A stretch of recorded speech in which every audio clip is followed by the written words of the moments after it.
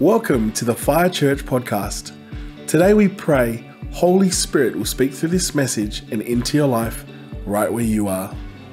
Good morning, church. Um, if you guys have just come in, this is our next gen takeover service. So, welcome. Um, when I I didn't plan on serving God in youth, honestly, when I when I came to Fire Church, and um, through a series, a se- I thought I was going to join the worship team because in my previous churches, that's where I served God and or the outreach team, and. Um, I, I had a dream actually. God told me in a dream, and I was like, okay, he has to tell me things in dreams because my, my I've got a very busy mind. Um, and uh, anyway, when I started serving God um, in youth, God told me He wants to give them their, this generation their voice back. And um, so it's something that I'm really passionate about. And the Bible says the righteous are as bold as a lion. And so we are going to hear from four young people who have got the boldness of Jesus. And you know they love God. They they love God. They they are they love God and they are learning to reverence God. And that's one of the things that um, God is building into their lives is to have a reverential fear of God. And, it, and that's not to say um, it's, it's not abusive, it's not controlling, but it is, it's like, wow, God. You, we, we acknowledge that you truly are God, that you are holy, and that your word is the way that we choose to live our lives. And we're not going to make you into another God. We are going to accept your loving instruction as a good father. So I just want to welcome up some amazing young people. Um, so, so Arabella, um, Tiana, Justin, Guys, come, come up. Justin and Adiel, would you come? Adiel? Oh, there you are. awesome. So, guys, come forward. So, they are going to share with us what God has put on their hearts for today. So, we, we receive from these beautiful young people. Hey, so let's open our hearts and just receive whatever the Lord wants to minister to our hearts. Hi, my name's Arabella. Now, before I start, I have to tell our pastors I'm sorry, but your time is up. The youth has taken over. anyway, I'm here to talk about the miracle with my knee. So, this began when I injured my knee at school. We were worried that I might have to have surgery if it was serious. Originally, the first doctor said it was fine, but I knew something wasn't, so we went to another doctor and got an MRI. However, the problem was was that I was in the school musical, so because of my knee, I couldn't do the dances that I'd been practicing since January. So one day after one of the rehearsals, I cried all the way home because I had to watch my friends do the dances that I was meant to be in, and that I thought I had no chance of being in the musical. I was so upset I wanted to quit, but I didn't. When I got in the car, my mum was on the phone to Kirsten, so he prayed. Kirsten heard that my knee would be fine and it won't bother me again, and mum saw a lion, which reminded me that I have a painting that I did at youth with a lion and Revelation 5 5. It says, Do not weep. See, the lion of the tribe of Judah, the root of David, has triumphed. And on top of this, the main character in the school musical is a lion. Later, the results showed that money was fine, but I needed physiotherapy. However, it still meant I couldn't dance. However, later I got knee tape that helped me walk, and eventually I actually got to do all the dances that I was in in the end. Is that a miracle or what? You got this. Good morning, church. And for those who don't already know me, my name is Tiana. And I'm here today to share with you all what God has placed in my heart. Now, a little bit about me.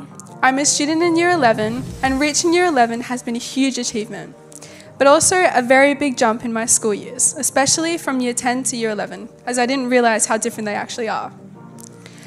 And now, this might not apply to everyone, but I'm not entirely a very organized person. But of course, I wish I was, especially for school. like, for example, with upcoming tests, exams, and assignment due dates that creep up. And this only leaves the levels of stress, anxiety, and overthinking to increase, leaving me questioning and allowing myself to let these feelings bottle up inside. So, in fact, what I'm trying to say is whether you're a student like me, older or younger, in school or not, I feel on my heart that people need to be reminded to remind themselves that by placing these overwhelming feelings onto God, and not relying on oneself, He will open the right doors for you. Whether it's people such as support like listening ears or advice givers, personal signs like holy confirmation, or simply a beautiful sense of peace. And I, for one, can confirm that God has placed, sorry, God has opened doors for me, especially that beautiful sense of peace. And He can do that for anyone and everyone who turns to Him in these times but only if you simply spend that quality time with Him, dedicate time for Him, and pour yourself out to Him. Because, of course, He is our Father in heaven and on earth. Now, a Bible verse that I'd like to finish up with is Matthew 11 28 to 30, which is Then Jesus said, Come to me, all of you who are weary and carry heavy burdens, and I will give you rest. Take my yoke upon you, let me teach you because I am humble and gentle at heart. And you will find rest in your souls, for my yoke is easy to bear, and the burdens that I give you is light. Thank you.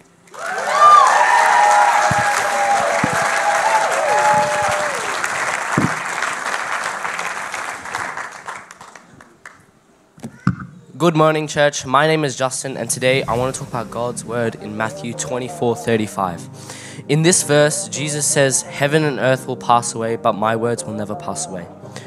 This shows Jesus reassuring us of the truth in his teachings. This gives us hope, increasing our faith in our God that never changes. The world is changing all the time and it's moving faster than we can keep up. It can be overwhelming, but with God, we can keep up. And it's a comfort to know that all that with all of this, it's nothing compared to Jesus. Even then, consider the significance of Jesus saying, Even heaven will pass away. Heaven is seen as the most sacred place, yet Jesus places his words even above that. This shows that the word of Jesus is the highest authority. While heaven is a place we may long for, it's his word that guides us there. No matter what happens, the words of Jesus stands above heaven and earth. They offer us a place of comfort and guarantee that God's word is eternal truth. In Jesus' name, amen.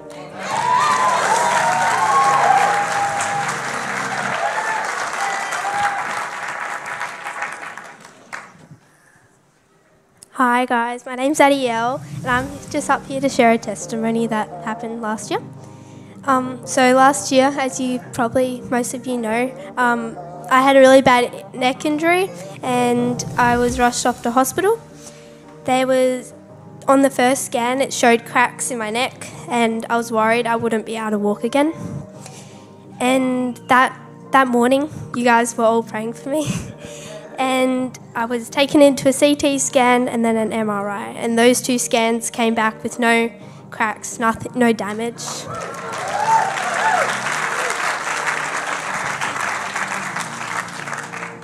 And all the doctors were like, "Oh wow, what what's happened?" But I knew obviously it was God. Now, um, to finish off, I've got this verse, and it was by He was pierced for our transgressions, He was crushed for our in, in iniquities. The punishment was brought us, peace was on him, and by his wounds we were all healed. So yeah, thank you.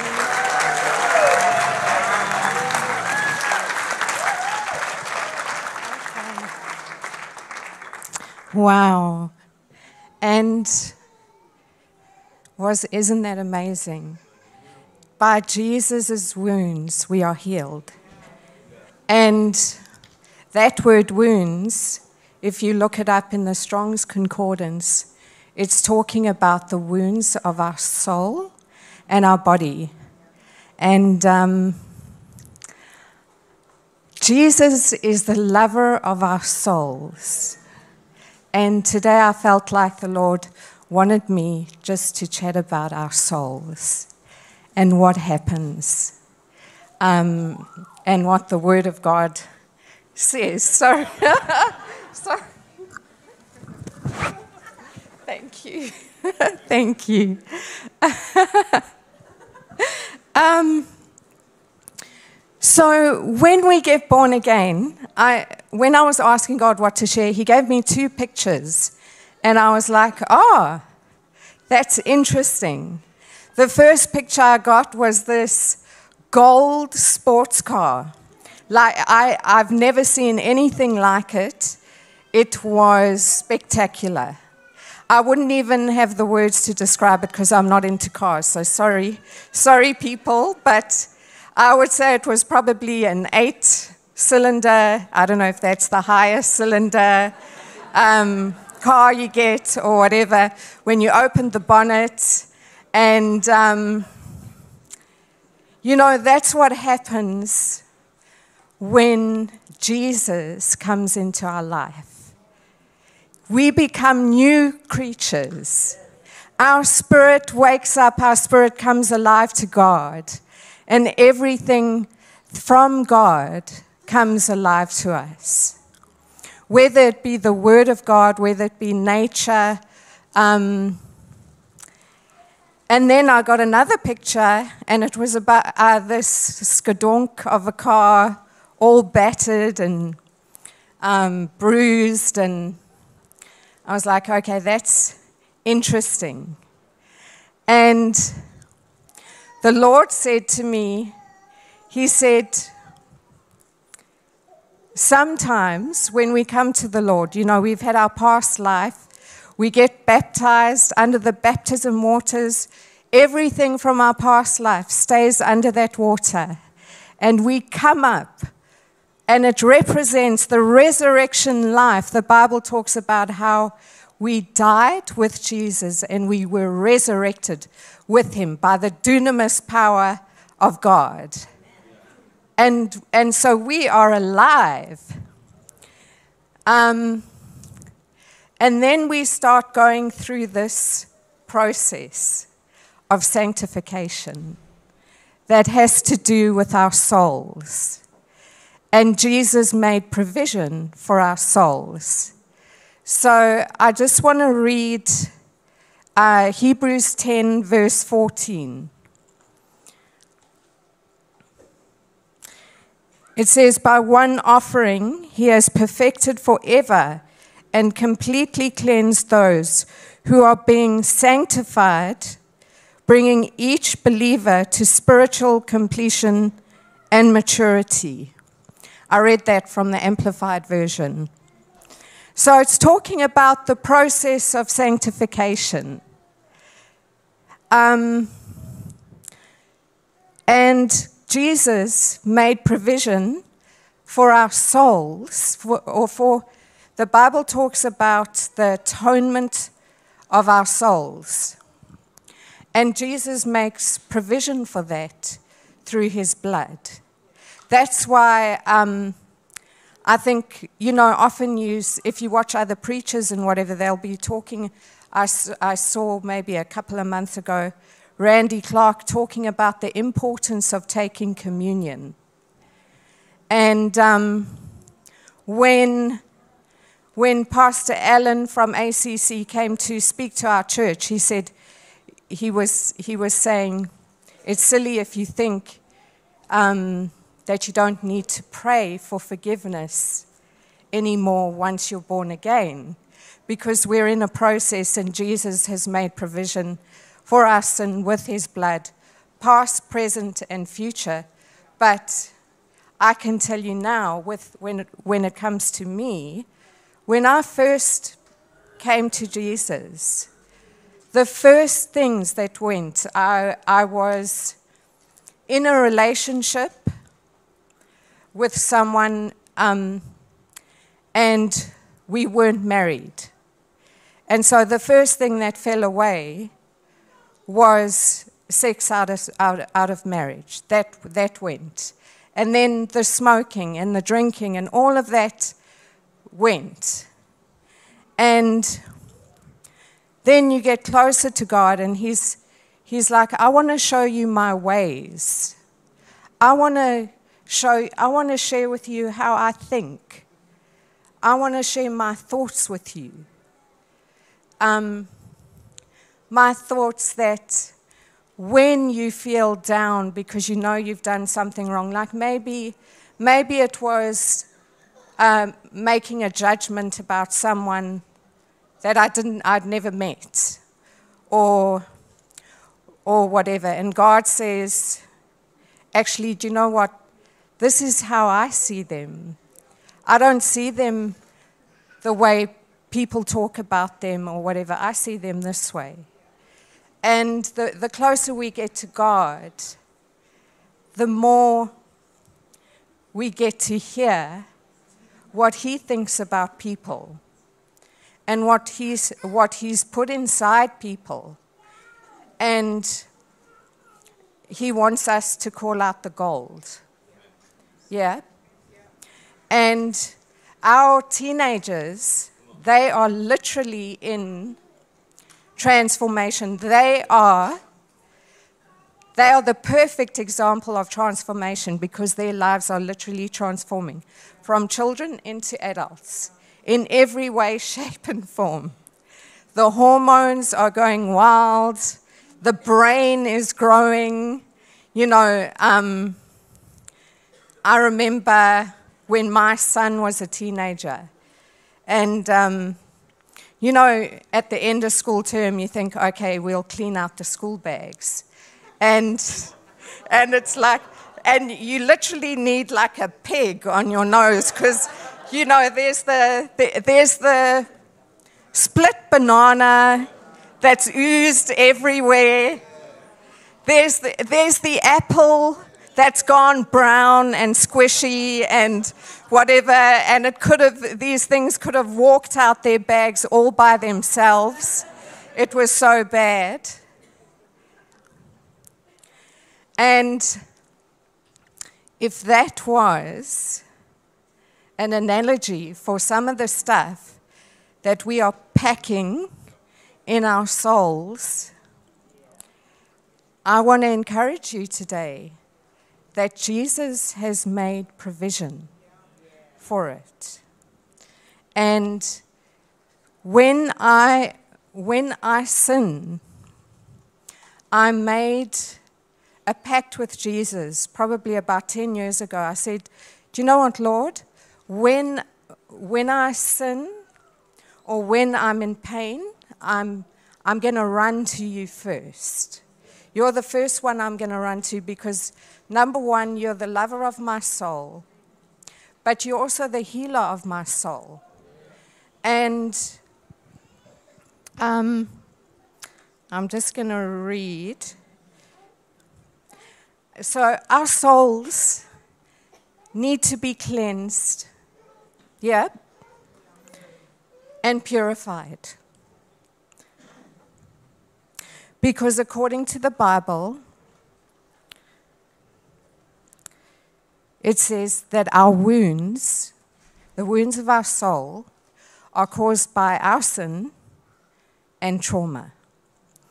So if we look at Isaiah 30, verse 26.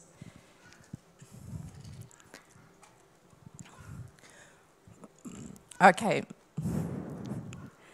as the, so in the day that the Lord binds up the bruise of his people and heals the stroke of their wound. Um, in the Amplified translation, translation, it says, In the day that the Lord binds up the bruise of his people from their sin. Yep, so when we sin, we hurt ourselves. And Jesus has made provision by his blood. Yeah? So that's one thing that wounds our souls. Um, and then another thing that wounds our souls is trauma. And if we look at the, the book of Job in the Bible, he says 23 times, he says, I am vexed of soul. I, I am bitter of soul. Um, and it's because trauma wounds our soul. And King David, when in the Bible, when he killed Uzziah, when he arranged to have him killed, um, in Psalm 38, he explains the pain of his sin in verse 3, uh, in Psalm 38, verse 3, and Psalm 38, verse 5. I'll read that for you. I'll, um, so he's, he's heartbroken of, over what he's done, you know. And he says, it's, it's like us, you know, when we do something wrong, we feel bad. And then we come to the Lord and we say, We're sorry, Lord. The Bible says, um, Oh, there we go. For my iniquities have gone over my head like a heavy burden. They are too heavy for me. My wounds are foul and festering because of my foolishness. So he's acknowledging, he's saying, God, I, I feel terrible. I don't, I don't feel great about what I've done, you know, what I've said, if I've, if I've hurt anyone. And um, Jesus, he loves to walk us into healing. It's, his, it's actually his great delight. This is the only time we, we are in a, his incredible creation because we are the only creatures ever to be created that get to that God gets to walk us into health and wholeness. And he and he amongst all the sin, all the rubbish, all the, you know, the world's just getting crazy. It, it literally is getting crazy. I, um, I was at a, you know, at a school and I was in the parking lot and a kid came up to me and he started barking at me. And I was like, and I, I, I wanted to laugh, but I thought, I thought, hang on. I was shocked. I was quite shocked. I was like, what's this about? And he said, I'm a furry. And I said, okay. And he said, I'm, I identify as being a dog. And I was like, okay.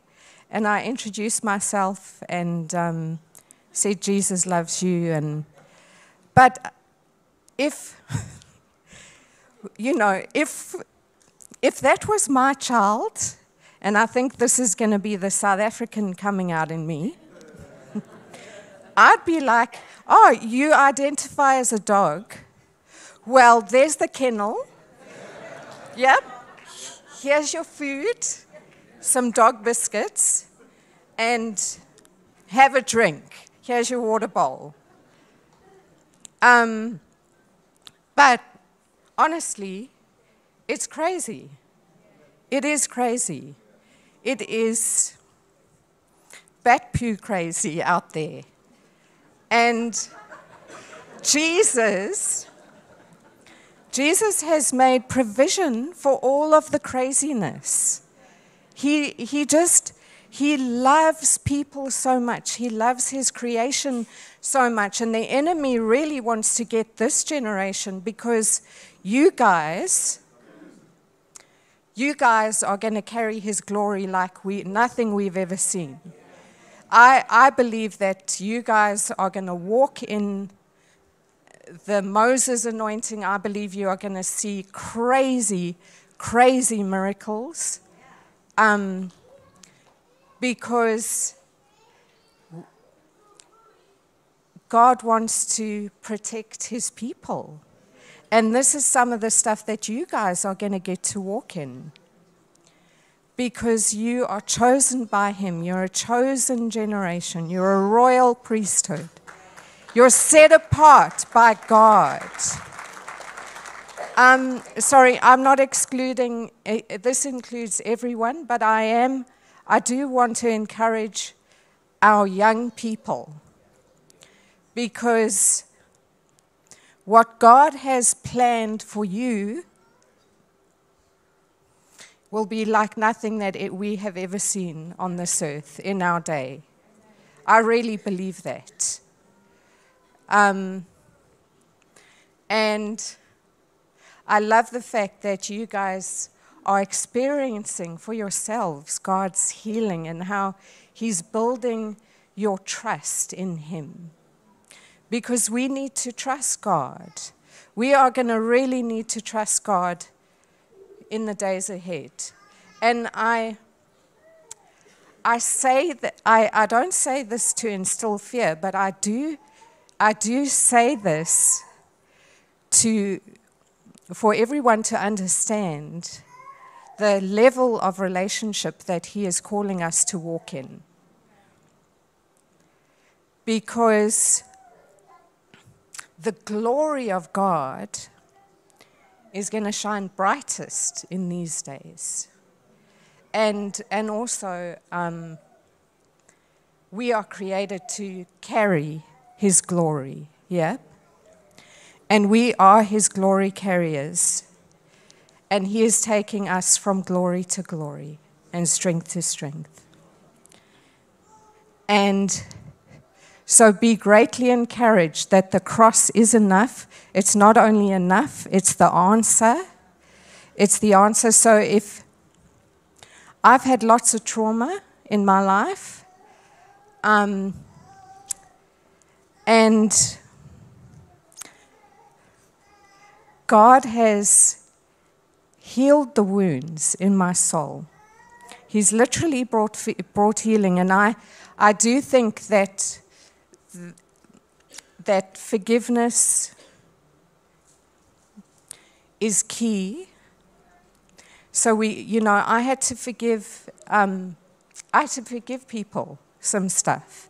Like everyone, it's just part of life. We cannot avoid being hurt.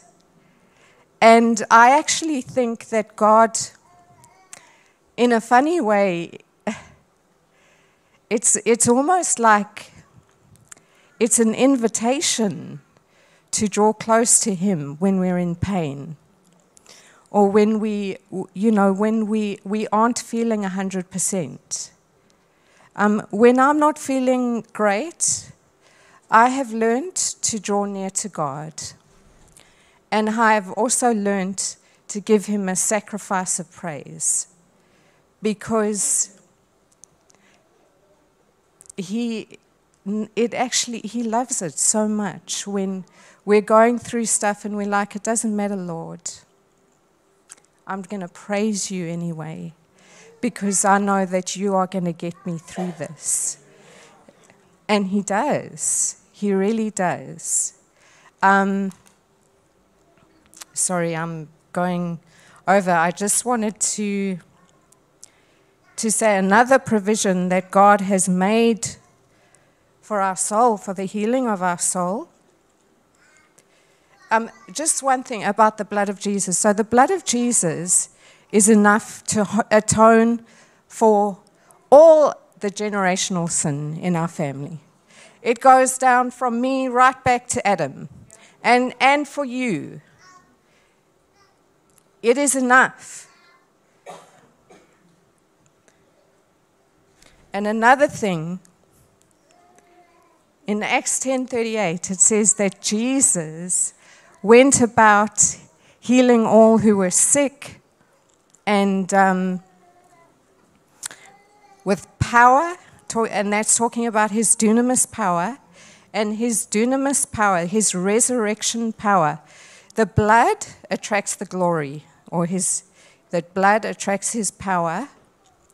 And when we pray for forgiveness of sins, his blood cleanses our souls, cleanses us completely, and his dunamis power goes from our spirit into our souls to bring healing and resurrection of dead things that he has in mind for all of us since the beginning of time. And the gospel is powerful. He is powerful. Anyway, so if you're in this room tonight,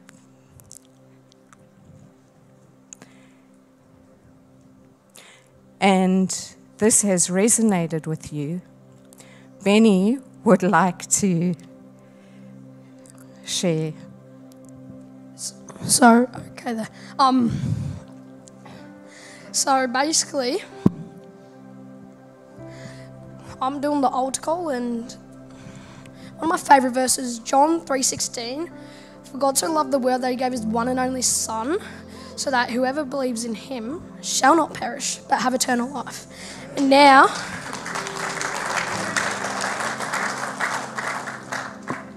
Now, Jesus is, if you feel it, just come up and come up to the altar and yeah. So we've got the salvation prayer. Just so if you want to give your heart to Jesus, repeat after me. Dear Lord Jesus, thank you for dying on the cross for me. Please forgive me as I receive you as my Lord and Saviour. Help me live for you for the rest of my life. In Jesus' name, amen.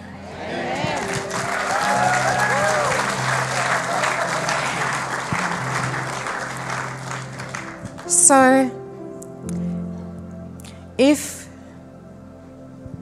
you would like to come forward for prayer, if you need healing, if you want the Lord to minister to your soul and bring freedom,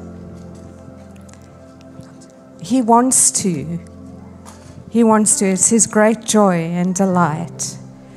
So I want to invite any, anyone who would like prayer or to receive anything from the Lord. Would you be bold and come to the front? And the prayer, prayer team would love to pray for you.